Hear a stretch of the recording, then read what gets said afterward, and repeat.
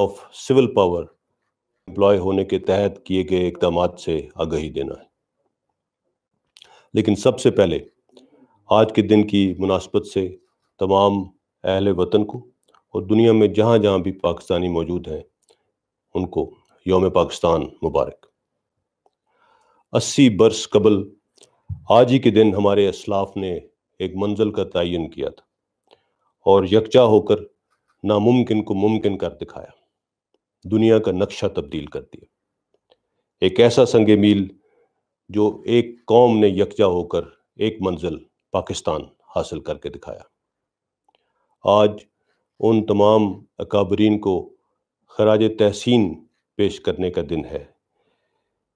ایک آزاد وطن اور اس دو قومی نظریے کے لیے جس کی سچائی آج سب پر عیاں ہو رہی ہے۔ آج پھر تیئیس مارچ۔ آج پھر ان اکابرین کے وارثوں کو وہ ایک نیا چیلنج درپیش۔ ایک ایسی قدرتی آفت جس نے پوری دنیا کو اپنی لپیٹ میں لے رکھا۔ حتیٰ کہ ترقی یافتہ ترین ممالک بھی کووڈ نائنٹین یا کرونا وائرس کے سامنے بے بس نظر آ رہے۔ انیس سو چالیس میں قیام پاکستان مقصد تھا، منزل تھی۔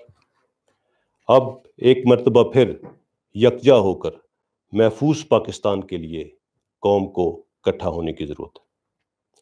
آج کا دن کشمیری بہن بھائیوں کو بھی یاد کرنے کا دن ہے۔ جو بدترین ریاستی دہشت گردی اور اس قدرتی آفت کے مقابلے میں بھی بیار و مددگار ہونے کے باوجود اپنے حق خود ارادیت کے لیے مزامت کی مثال بنے ہوئے ہیں۔ مقبوضہ کشمیر کے عوام اس جد و جہد میں ضرور کامیاب ہوں گے، انشاءاللہ۔ پاکستان کو اس وقت کرونا وائرس کا شدید چیلنج درپیش ہے۔ یہ حقیقت ہے کہ چیلنجز کا سامنا کر کے ہی قومیں رائز کرتی ہیں۔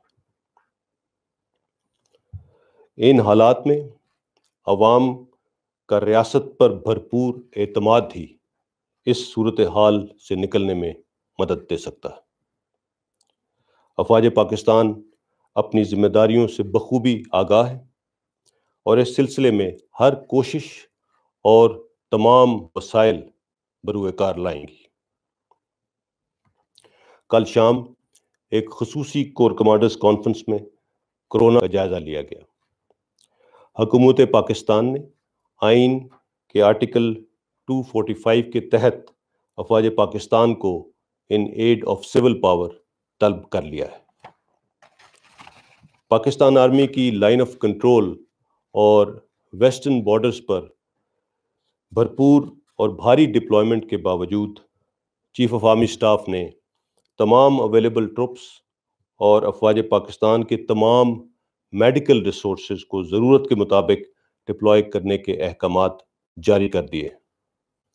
وفا کھانے پینے کی اشیاء اور میڈیکل سامان تیار کرنے والی فیکٹریاں اور میڈیکل سٹور کھلے رہ سکیں گے۔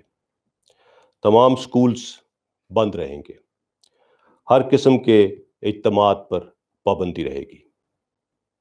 تمام قسم کے شاپنگ مالز ریسٹورنٹس سنیماز، شادی ہال، سوئمنگ پولز اور غیر ضروری نقل و حرکت پر پابندی رہے گی۔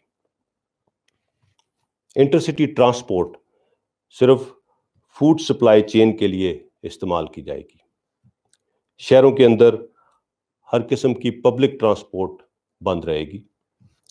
تمام ایئرپورٹس انٹرنیشنل فلائٹس کے لیے چار اپریل تک بند رہیں گے۔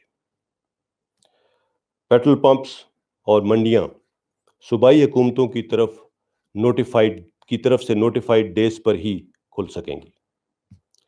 اس حوالے سے صوبائی حکومتیں اپنے اپنے صوبے میں مزید گائیڈ لائنز جاری کریں گی، جنہیں سول اداروں کے ساتھ مل کر یقینی بنایا جائے گا۔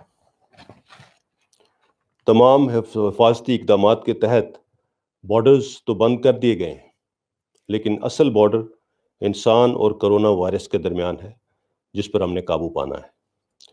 یہ انفرادی، خاندانی کمیونٹی اور معاشرے کے طور پر مشکل اور سخت فیصلے کرنے کا وقت۔ ہے انفرادی نظم و ضبط اور باہمی تعاون تمام اداروں کی کوششوں کو کامیاب کرے گا۔ کرونا وائرس کے خلاف بیسٹ ڈیفنس آئسولیشن سے بھی زیادہ کوآپریشن ہے۔ The task at hand is enormous and very difficult لیکن دنیا نے دو ہزار پانچ کے زلزلے اور دو ہزار دس کے سیلاب اور دہشت گردی کے خلاف جنگ میں اس قوم کی ریزیلینس کو بخوبی دیکھا ہے۔ موجودہ چیلنج نے ایک بار پھر ہماری نیشن ہوڈ کو آزمایا ہے، لیکن اس مرتبہ خطرہ بہت ہی مختلف نوعیت کا ہے the likes of which we have not seen in our lifetimes اس خطرے پر خطرے پر قابو پانے کے لیے افواج پاکستان قوم کے شانہ بشانہ کھڑی ہوں گی۔ ورلڈ بیسٹ پریکٹسز کو مد نظر رکھتے ہوئے اپنی نقل و حرکت کو محدود رکھنا ہی مؤثر ترین بچاؤ ہے۔ لیکن اس کے ساتھ ساتھ اسکریننگ ٹیسٹنگ کانٹیکٹ ٹریسنگ بھی بہت اہم ہے اس سلسلے میں افواج پاکستان اور دیگر اداروں کے ساتھ مل کر تمام انٹری پوائنٹس پر اس پروسیجر کو یقینی بنایا جا رہا ہے۔ اب تک ایک ملین سے زائد مسافروں کی اسکریننگ انشور کی گئی ہے۔ پچھلے چوبیس گھنٹوں میں بارہ ہزار سے زائد اسکریننگ ٹیسٹ کیے گئے ملک بھر میں قائم کیے گئے کوارنٹین کیمپس میں سیکیورٹی اور دیگر حفاظتی انتظامات کو یقینی بنایا جا رہا۔ مجھے اس میں کوئی شک نہیں کہ بہادر اور غیور پاکستانی قوم ایک مرتبہ پھر افواج پاکستان کے ساتھ مل کر اس چیلنج کو بھی عبور کر لیں گے۔ آرمی چیف نے اس مد میں اپنی ایک ماہ کی تنخواہ بگیڈیس سے لیفٹنٹ جنرل تک تین دن کی تنخواہ، کرنل کے عہدے تک کے آفسرز نے دو دن اور سولجرز اور جیسیوز نے اپنی ایک دن کی تنخواہ اس وبا سے نمٹنے کے لیے دینے کا فیصلہ کیا ہے۔ آخر میں میں آپ سب سے کہوں گا کہ اپنی، اپنے خاندان اور خاص طور پر اپنے گھر میں موجود بزرگوں کی صحت کی حفاظت کے لیے حکومت پاکستان اور وزارت صحت اور ڈاکٹرز کی جانب سے جو ہدایات جاری کی جا رہی ہیں، ان پر ذمہ دار شہریوں کو طور شہریوں کے طور پر عمل کیجیے۔ خود کو اور اپنے پیاروں کو گھروں تک محدود رکھیں تاکہ ہم اس وبا کا مقابلہ کر سکیں۔ میری آپ سے یہ ریکویسٹ ہے کہ اس جنگ میں پاک فوج لا انفورسمنٹ ایجنسیز اور حکومت کے ساتھ مکمل تعاون کیجیے۔ ان ہدایات پر عمل کر کے ہی پینک اور خوف و حراس سے بچا جا سکتا ہے۔ انفرادی حفاظت میں ہی مجموعی حفاظت۔ شکریہ۔